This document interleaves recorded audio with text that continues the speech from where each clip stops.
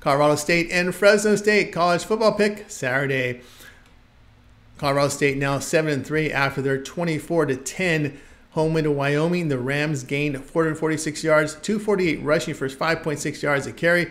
On defense, they held the Cowboys to 237 yards with 120 passing on 30 attempts. Brayden Fowler, Nicolosi, 14 to 17 passing for 192 yards and a touchdown. Fresno State sits at 4 and 4.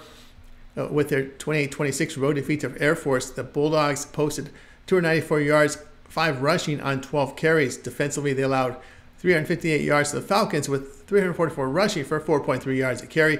Mikey Keene, 23 to 26 passing for 289 yards, three touchdowns and a pick. Rain is in the forecast for this game with light wind. The Bulldogs in their past three games have struggled with the run game by averaging 1.9 yards per rush.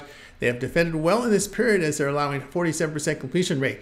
Passing has been an issue in this we- in this weather uh, here. Uh, it's been it's been raining here the past two days. The Rams have run effectively in the conference, held Mountain West opponents of 14.8 points per game. Pick here Colorado State and Fresno State under 45 and a half. For more free pick videos, be sure to subscribe to our channel. And if you're looking for my best bets, my premium plays, click that link in the description. That'll take you to my page here at Tony'sPicks.com. And if you like this video, give us a like and a thumbs up. It really helps our channel. I'm Tony T. We'll talk with you guys later.